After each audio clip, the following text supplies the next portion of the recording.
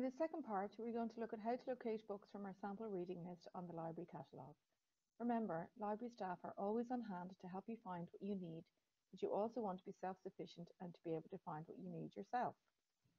So the library catalogue an is an online searchable catalogue of all DIT Libraries holdings. You can search the catalogue from anywhere with an internet connection. You can search all our collections, so this means you can use this catalogue to locate books, ebooks, newspapers, past student dissertations, journals, magazines, music scores, and so on. Let's look at the quickest way to find a book from our sample reading list. You can find the library catalogue on the library website at www.dit.ie forward slash library. You can also search the library catalogue on open access computers in each of the DIT library sites.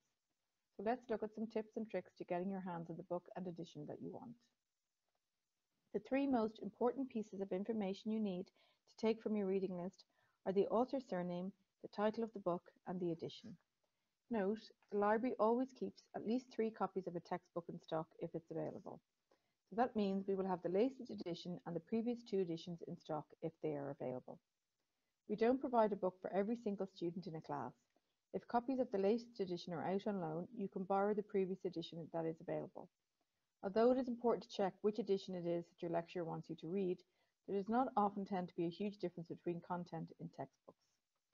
Let's take a look at our sample reading list again. So looking at the books we need, we simply need to make a note of the author's surnames and the titles and the edition.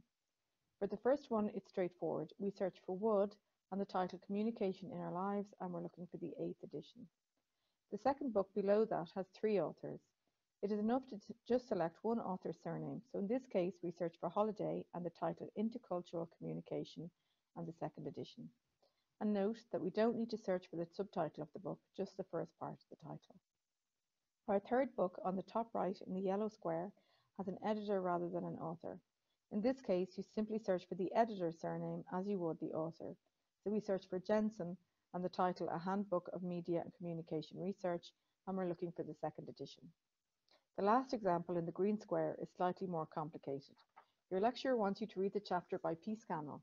However, if you search for Scannell and the chapter title on the library catalogue, you won't get any results. You must look for the author and title of the book that contains that particular chapter. So in this case, we search for Jensen and the title A Handbook of Media and Communication Research. So to find each of these textbooks or readings on the library catalogue, we simply need to isolate this information and start searching. Let's look at this in action.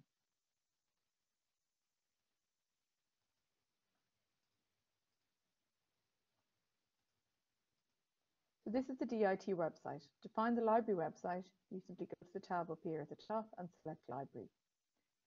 So the library catalogue is located in this grey square on the library homepage. So we always recommend that you go to advanced search. So you have your search boxes here. So again, remember that you just need to look for author's surname and the title of the book. So thinking back to our sample reading list examples, our first example, the author's name was Wood. And the title is called Communication in Our Lives. That's all the information you need to put in and you simply hit submit. So it brings up four matches. This because we have more than one edition in stock. So again, this is where it's important to take note of what edition you need. So we needed the eighth edition. So this is here at the top. So to expand the record, we simply click on the title and it will tell us how many copies we have and in which libraries they're located in. So each line indicates that there's a copy available. So at this point, you need to make note of location, the call number, and the status. So location will tell you which library it's housed in and whether it's available to borrow. The library use means library use only. Lending means you can borrow it. Here we have the call number. So this is the shelf mark where the book is shelved. We'll explain more in detail in part three of this webinar. And then we have status. So whether it's for library use only or if it's available, it's available to borrow. If the book is out on loan, it will have a due date. If you see a record with a tab like this, if you click on it, it will expand the record further and tell you if there's additional copies available. Let's search for our second example. This was an author with, mo with more than one author. So again, you just need to select one author. So in this case, it was Holliday. And then we need to type in our title in the second box. So intercultural communication. If you think back to our reading list, this book also had a subtitle, but again, you just need to put in the first part of the title. Hit submit, and again, it will give us two matches. We need to look at what edition we needed, so we wanted the second edition.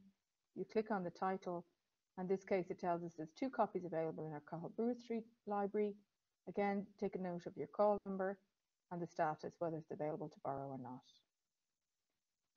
Let's look at our third example, which was an edited textbook. So again, treat the editor like you would an author. Just type in the author's surname or the editor's surname in this case. And then we put in the title. So a handbook of media communication research. And again, we need to check what edition we need. So we want the second edition. If I expand the record, I can see there's four copies available to loan, three copies in Aungier Street, and one copy in Bolton Street Library. So going to our third example then, which was a chapter in an edited book. So again, this is where it gets a bit um, complicated. So if we think back to our reading list, the author of the chapter was called Scannell. The title of the chapter was History, Media and Communication.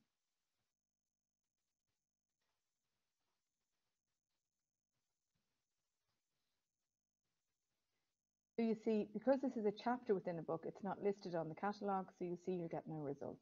So it's important to remember to look for the, the editor or author of the book that contains that particular chapter.